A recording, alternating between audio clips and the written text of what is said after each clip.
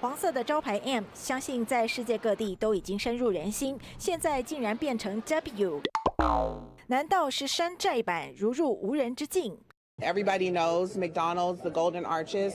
So to demonstrate the importance of celebrating women by flipping that iconic sign really makes a statement. 原来是经营者灵机一动，别出心裁到最高点，就是翻转招牌。